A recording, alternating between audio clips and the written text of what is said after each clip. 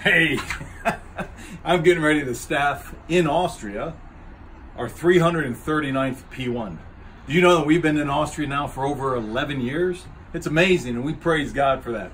You can tell I'm already dressed, ready to go in my traditional Austrian manly attire.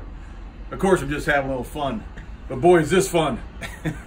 so, brothers, just asking for your prayers this weekend. We've got over 100 men coming to the top of the Alp here in Austria. We got a staff that's fired up, ready to go. And we're counting on Jesus to show up, to have intimate encounters, to change the hearts of his men, so that we can be more like him and less like our own broken selves. Be strong.